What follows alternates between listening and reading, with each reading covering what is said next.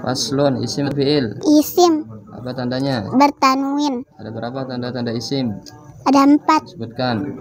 Alif lam bertanwin. Huruf jar baris bawah. Terus faslon isim muzakkar atau muannas? Muzakkar Kenapa? karena tidak ada tak marbutoh. Terus faslon isim mufrad atau tasniah?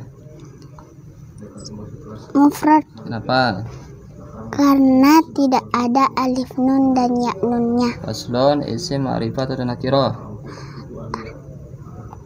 Nakirah Kenapa? karena tidak ada alif lam. Ada berapa isim ma'rifat?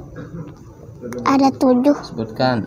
Isim damir, isim alam, isim isyarah, isim mausul, alif lam idafat dan munada itulah dia.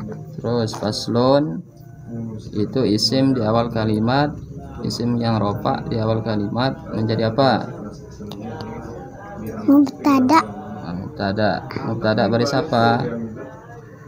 Baris dah. basdapan Depan ada berapa isim yang ropa? dah tujuh Sebutkan.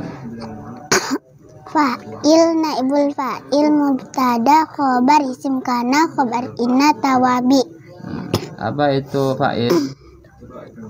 Fa'il isim marfu setelah is fi'il maklum. Contohnya,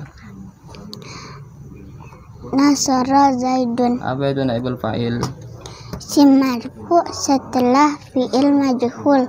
Contohnya, nusira zaidun. Hmm. apa itu mubtada? isim marfu di awal kalimat. Contohnya, zaidun qaimun. Apa itu khobar? sim sim marfu setelah mubtada Contohnya, zaidun qaimun. Mana saudara kana?